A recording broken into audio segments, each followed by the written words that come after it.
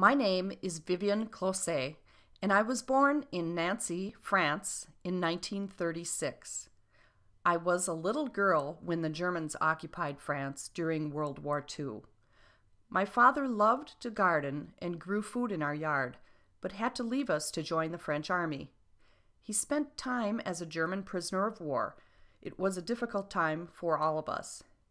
When I was eight years old, the Allies liberated France and General Patton's Third Army came through our town.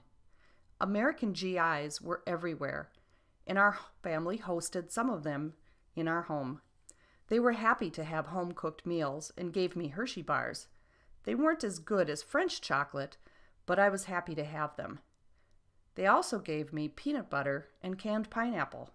We didn't have those things in France, and it was very unusual. I remember their kindness.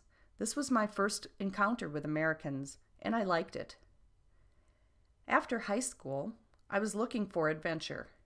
In addition to French and German, I was proficient in English, so I took a job as a secretary for the U.S. Army in 1953.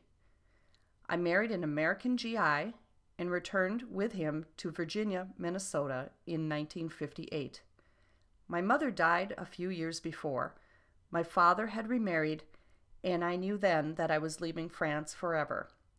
I was sad to leave him and my little sister behind, but excited to start my new life in the U.S. People in the U.S. were very welcoming to me, and I made a lot of friends. I was a bit of a novelty with my French accent and French clothing. I brought some of our family keepsakes along, but what I really missed most was the food, especially the pastries. You get used to the type of food from your home, and some of the things in Minnesota were very unusual. The first thing I tasted here was cherry jello with mayonnaise. Yuck.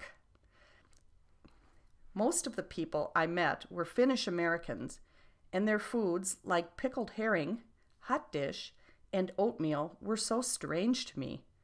I had never seen people eat corn on the cob because in France it was fed to animals. There was nothing here like the potato leek soup, French bread, croissant, and pastries from home.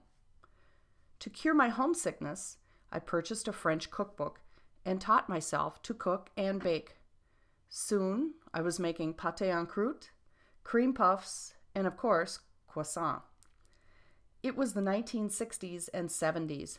Most of my American friends had never tasted real French food so to them, it was very different from what they were used to eating. But it didn't take long for my family and friends to adapt. When my kids were younger, they wanted me to make Betty Crocker angel food cakes for their birthdays, but today they ask for homemade French meringue tortes. Over the years, my tastes adapted as well. I learned to enjoy pizza, hamburgers, sushi, and yes, even corn on the cob. French food helped me through the transition. I appreciate my French heritage. I still enjoy a glass of French wine, but I am an American now.